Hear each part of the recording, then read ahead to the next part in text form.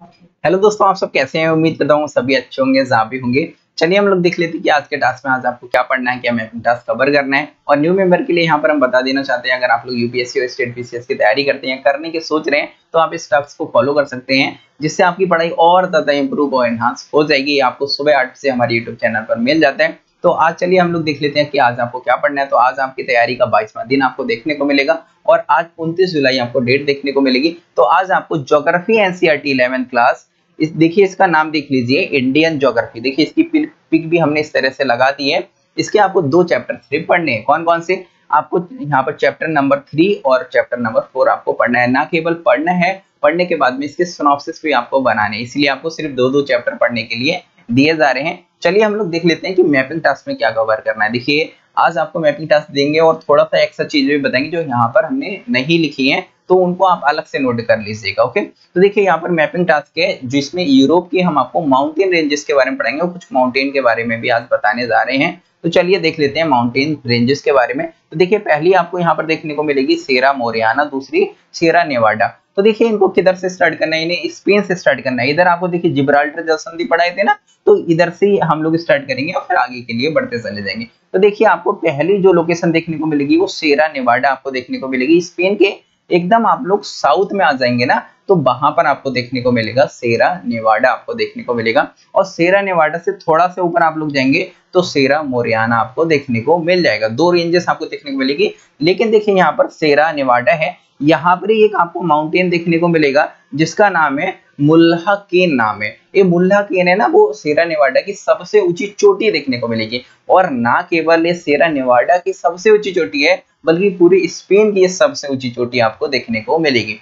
फिर देखिए, उसके बाद में आपको कैंटेरियन आपको देखने को मिलेगा। देखिए कैंटेरियन है, ये कहाँ पर है? स्पेन के एकदम आप लोग उत्तर में चले जाइए। मतलब नॉर्थ में आप एकदम चले जाइए तो आपको क्या देखने को मिलेगा? कैंटेरियन आपको देखने को मिलेगा। आप देखिए, इनमें क्या करना है? जो भी हम रेंजेस पढ़ा रहे हैं ना, इनका आपको थोड़ा सा एक्स्ट्रा काम कर लेना है। इनकी सबसे ऊँची चोटी है ना, वो देख लेनी है। ज़्यादा नहीं मतलब दो, तीन, चार, पाँच आप एकदम लिस्ट बना दिए। बहुत सारी चोटियाँ होती है, लेकिन जो सबसे ऊँची चोटी है ना, वो आप लोगों के लिए सिर्फ़ देख लेनी है ओके और इसके अलावा आपको देखिए, यहाँ पर पेरेनीज आपको देखने को मिलेगा। अगली लोकेशन क्या है? देखिए पेरेनीज आपको देखने को मिलेगा। इसकी विशेषता क्या है? देखिए, जो पेरेनीज है, ये स्पेन और फ्रांस आपको देखिए, इसीलिए पहले पॉलिटिकल मैप पढ़ाए थे। तो स्पेन और फ्रांस है ना, उसकी प्राकृतिक सीमा का निर्धारण करती है। तो ये वाली लोकेशन आपको देखनी है। काफ़ी इंपॉर्टेंट आपको देखने को मिलेगी। फिर देखिए आलपस आलपस आपको यूरोप को काफ़ी इंपॉर्टेंट पर्वत श्रृंखला आपको देखने को मिलेगी। तो देखिए आलपा से थोड़ा सा आगे जाएँगे तो आपको मिल जाएगा। ओके और देखिए यहाँ पर प्लेट्यू एंड लो लैंड है इसके। उत्तर में आपको देखने को मिलेगा और इधर आपको क्या देखने को मिलेगा? आल्पस पर्वत आपको देखने को मिलेगा। अब देखिए आल्पस पर्वत के बाद में देखिए इटली के अंदर आप लोग आएँगे। देखिए इटली के अंदर आपको एपनीस देखने को मिलेगा। एक देखिए काफ़ी इंपॉर्टेंट है। देखिए जो एपनीस है, इसके बारे में आपको थोड़ी सी बता देते हैं। एपनीस है, ये पूरे विश्व में आपको सबसे प्रसिद्ध स्थान देखने को मिलेगा। किसके लिए? शराब के लिए आपको देखने को मिलेगा। लेकिन यहाँ पर और चीज़ें भी काफ़ी इंपॉर्टेंट है। कभी कभार पूछ लिया जाता है। तो देखिए, यहाँ पर और भी चीज़ें इंपॉर्टेंट है। देखिए, यहाँ पर एक आपको पर्वत देखने को मिलेगा। ओके ये पर्वत काफ़ी इंपॉर्टेंट है। आपको ये विसुबियन विसुबियन पर्वत के नाम से इसको जाना जाता है। माउंट विसुबियन पर्वत के नाम से जाना जाता है। क्यों ये इंपॉर्टेंट है? क्योंकि किस प्रकार का आपको देखने को मिलेगा? ये ज्वालामुखी पर्वत आपको देखने को मिलेगा। क्या? जो विसुबियन आपको माउंटेन है, ये किस प्रकार का है? ज्वालामुखी पर्वत देखने को मिलेगा। अब देखिए, इसके बाद आप लोग थोड़ा सा नीचे आएँगे ना तो हम यहाँ पर आपके लिए सिसली द्वीप के बारे में पढ़ाई थे ना तो हमने कहा था ना रिवीजन होता रहेगा समय के साथ में। तो सिसली में आपको एक एटना ज्वालामुखी देखने को मिलेगा। देखिए, आपको सर्च करना है क्या एटना, आप देखिए हमारे पास जगह नहीं हम लिखेंगे तो बहुत हौच पौच हो जाएगा तो आपको लिख लेना है, एटना। अब देखिए, एटना क्यों इंपॉर्टेंट है? एटना जो है ना, वो आपको पैरासाइट कोन देखने को मिलेगा। मतलब जो परिपोषित शंखु होते हैं तो परिपोषित शंखु ज्वालामुखी का एक उदाहरण आपको देखने को मिलेगा। एटना ज्वालामुखी जो सिसली द्वीप के अंदर आपको देखने को मिल जाएगा। इटली का ही पार्ट आपको देखने को मिलेगा। देखिए, और एटना है ना, एटना के ऊपर थोड़ा सा आप जाएँगे ना तो यहाँ पर आपको स्ट्रॉम्बोलियन देखने को मिलेगा। देखिए, थोड़ा सा ऊपर जाएँगे तो स्ट्रॉम्बोलियन आपको एक पर्वत देखने को मिलेगा। ये भी ज्वालामुखी पर्वत है, स्ट्रॉम्बोलियन। ये किस लिए इंपॉर्टेंट है? ये इसलिए इंपॉर्टेंट है, देखिए, जो स्ट्रॉम्बोलियन है ना, ये मिश्रित शंकु, जो कंपोजिट कोन होता है ना, उसका उदाहरण आपको देखने को मिलेगा। तो ये माउंटेन भी काफ़ी इंपॉर्टेंट है। और देखिए इसी माउंटेन के लिए जो स्ट्रॉम्बोलियन माउंटेन आपको देखने को मिलेगा ना इसे हाउस ऑफ़ लाइटिंग मेडिटेरियन के नाम से जानते हैं। मतलब लाइट हाउस ऑफ़ मेडिटेरियन के नाम से जानते हैं क्योंकि माना जाता है ये क्या है? प्र, प्रकाश स्तंभ है। एक प्रकाश घर है पूरे भूमध्य सागर का लेकिन ऐसा नहीं है इसके माध्यम से रात के समय पूरे भूमध्य सागर में लाइट रहती होगी। नहीं एक इसके अंदर से क्या है? लावा है वो निकलता रहता है जिससे रोशनी होती है आसपास के क्षेत्र में। इसीलिए इसको लाइट हाउस ऑफ़ मेडिटेरियन के नाम से भी जानते हैं किसको स्ट्रॉम्बोलियन को, ओके एटना के आपको उत्तर में आपको देखने को मिलेगा। देखिए, कुछ एक्स्ट्रा चीज़ें हैं जो, और ये क्या है? मिश्रित शंकु का आपको उदाहरण देखने को मिलेगा कंपोजिट कोर का उदाहरण। आप कंपोजिट कोन क्या होता है? आप लोग, आप खोजने मत लगेगा ज्योग्राफी में पढ़ाएँगे सारी। कंपोजिट कोन क्या होता है? पैरासाइट कोन क्या होता है? परिपोषित शंकु क्या होता है? ये सारी चीज़ें आपको पढ़ाएँगे। ओके, ये काफ़ी इंपॉर्टेंट है। फिर उसके बाद में आपको डेनेरिक आपको आल्पस आपको देखने को मिलेगा। आखिर डेनेरिक आल्पस है, ये कहाँ पर है? एड्रियाटिक सी आपको पढ़ाए थे ना? एड्रियाटिक सी के पास में ही देखिए आप लोगों के लिए दिख जाएगा। एड्रियाटिक सी है, उसका जो आपको पूर्वी तट देखने को मिलेगा ना मतलब उत्तर पूर्वी तट देखने को मिलेगा तो उधरी आपको देखिए, ये देखने को मिलेगा, डेनेरिक आल्पस आपको देखने को मिल जाएगा। ओके? तो ये कुछ लोकेशन है, काफ़ी इंपॉर्टेंट आपको देखने को मिलेगी, लेकिन कुछ और लोकेशन आपको यहाँ पर इंपॉर्टेंट बता देते हैं। देखिए, ये तो आपको फ्रांस देखने को मिलेगा, ओके? अब देखिए, फ्रांस के बाद ये आपको ये आपको जर्मनी देखने को मिलेगा, ओके? ये आपको जर्मनी देखने को मिलेगा। देखिए, ये क्या है? ये स्पेन है, ये फ्रांस है तो ये जर्मनी है, ओके? तो ये ये उधर नहीं, ये जर्मनी आपको देखने को मिलेगा। चलिए, यहाँ पर कुछ इंपॉर्टेंट लोकेशन बता देते हैं। देखिए, जो फ्रांस है ना, यहाँ पर आपको एक इंपॉर्टेंट बॉस जेस आपको पर्वत देखने को मिलेगा। लिख लीजिए, क्या है? बॉस जेस पर्वत आपको देखने को मिलेगा। इसकी विशेषता क्या है? ये ब्लॉक माउंटेन है। बॉस, जेस पर्वत क्या है? ये ब्लॉक माउंटेन आपको देखने को मिलेगा। ये क्या है? ब्लॉक माउंटेन अब ब्लॉक माउंटेन क्या होता है? जब आपको भ्रंशन की प्रक्रिया के बारे में पढ़ाएँगे, ओके? जो भ्रंश घाटियों के बारे में जब पढ़ाएँगे तो वहाँ पर ही बताएँगे, ओके? तो ब्लॉक माउंटेन क्या होता है? तो ब्लॉक माउंटेन का उदाहरण यहाँ पर आपको देखने को मिलेगा। बॉस चेस आपको पर्वत, जो कहा है? फ्रांस में। और वहीं आप फ्रांस के बाद स्पेन में आ जाएँगे ना तो स्पेन में एक ब्लैक फॉरेस्ट एक माउंटेन देखने को मिलेगा। लग रहा है जंगल है ब्लैक फॉरेस्ट। लेकिन ये क्या है एक आपको उस, उस रीजन को ब्लैक फॉरेस्ट के नाम से जाना जाता है। तो यहाँ पर जो ब्लैक फॉरेस्ट माउंटेन आपको देखने को मिलेगा, ये हॉर्स पर्वत का उदाहरण है। अब आपके हॉर्स पर्वत क्या होता है? तो मतलब आप लोग कंफ्यूजन नहीं होना है। जब आपको भ्रंसन की प्रक्रिया पढ़ाएँगे तो आपको पर्वतों के प्रकारों के बारे में बहुत अच्छे से समझाएँगे। मतलब ये नहीं है। बार बार देखिए, इधर चला जाता है। ये वाला आपको देखने को मिलेगा। देखिए, इतनी सारी लोकेशन आपको ध्यान रखना है। तो देखिए, जो फॉरेस्ट जो ब्लैक फॉरेस्ट है, ये किसका उदाहरण है?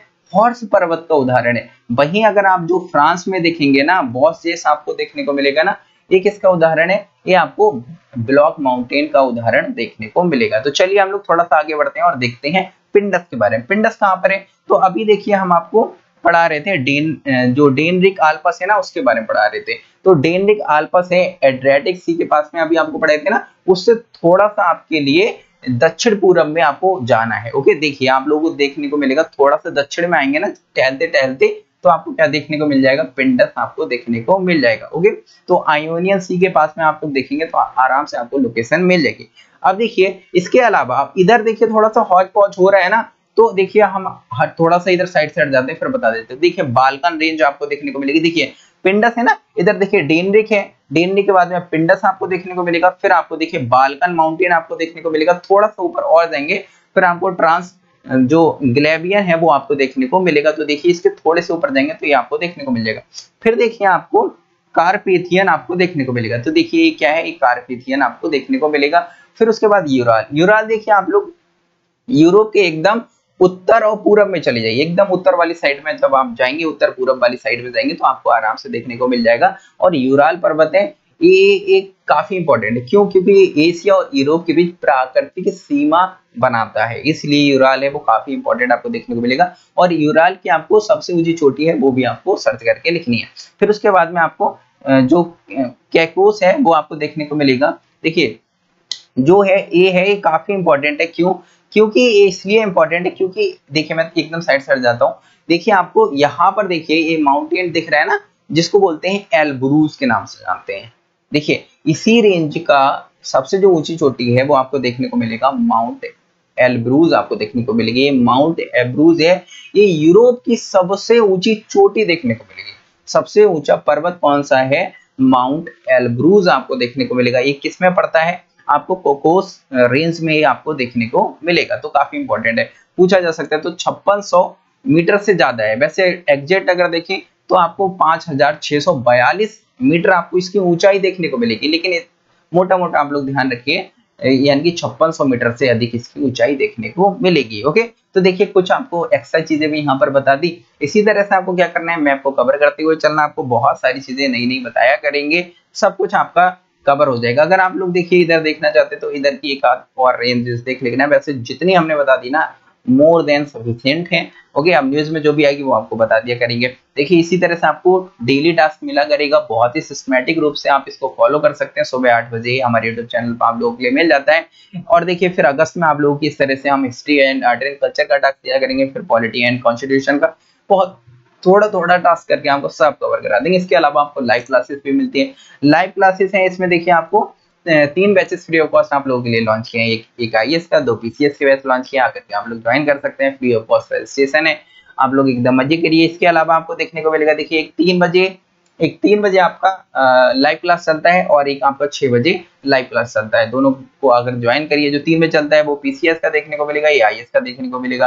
लेकिन पीसीएस वालों के लिए भी आकर के ज्वाइन करना है, क्योंकि कॉमन सिलेबस है वो आपको यहाँ कवर कराया जाता है। इसके अलावा आपके संडे को जूम मीटिंग भी होती है, जिसमें आकर के आप हमसे सभी डाउट्स हैं वो क्लियर कर सकते हैं। आपस में भी आप लोग एक दूसरे से बात कर सकते हैं। ओके, कोई भी डाउट हो, अपने आप को इम्प्रूव इन्हांस करना हो इंटरव्यू के लिए प्रिपेयर करना हो तो आपस में आप लोग डिस्कशन करके अपने आप को इम्प्रूव भी कर सकते हैं। ओके इसके अलावा आपको संडे को एक टेस्ट भी होता है एनसीआरटी बेस्ड जो भी आपको टास्क दिया जाता है, वही आपको दिया जाता है ओके इसके अलावा देखिए यहाँ पर आप हमारे यूट्यूब चैनल के स्टूडेंट पे जाएँगे, यहाँ पर हमने सेपरेट इस तरह से वीडियो बना दी है मतलब प्ले लिस्ट बना दी है। तो प्ले लिस्ट में आप जाएँगे तो आपको सभी बैचेस की एक जगह पर ही सारी वीडियो मिल जाएँगी तो इधर उधर खोजने की आवश्यकता नहीं, भटकने की आवश्यकता नहीं, जाकर के ज्वाइन कर लीजिए। और देखिए यहाँ पर हमने सविस्तार में बताया कि आपको हम कितनी क्लासेस हैं किस सब्जेक्ट पर देंगे, कितने घंटे के देंगे तो सविस्तार में यहाँ पर बताया गया। तो आप लोग देख सकते हैं कि इसका एक स्क्रीन ले सकते हैं। हम साइड से हट जाते हैं तो स्क्रीन लेकर के आप लोग देख सकते हैं। और ये आपके आई कार्ड है, वो भी बन गए तो चलिए फिर से साइड से हट जाते हैं। तो देखिए, अगर इसमें नाम है तो आपका आई कार्ड बन गया तो आपको व्हाट्सएप पर एक अपना नाम और डेट ऑफ़ बर्थ के साथ में हमें पर्सनल मैसेज कर देना है। आपका मिल जाएगा। ये गर्ल्स का एक स्क्रीन ले लीजिए, बाद में जूम करके देखते रहिएगा। और देखिए, यहाँ पर आपको देखने को मिलेगा कि ये जो ए वाली वीडियो जाकर के देख लीजिए, इसमें हमने बताया कि किस तरह से आपको फॉर्म फिल करना है। फॉर्म फिल कर देंगे तो आपका आई कार्ड बन जाएगा और प्राइवेट ग्रुप में आपको ऐड कर दिया जाएगा। अभी आप हमारे पब्लिक ग्रुप में ऐड हो सकते हैं, लेकिन वहाँ पर मैसेज बंद रखते हैं। ओके? तो चलिए, इस वीडियो को ज़रूरत लाइक करें, शेयर करें, इसी तरह से अपना प्यार दिखाते रहे। आपको हमेशा इसी तरह से हम जो टास्क ऑफ़ द डे है और सारी चीज़ें वो आपको प्रोवाइड कराते रहेंगे। ओके?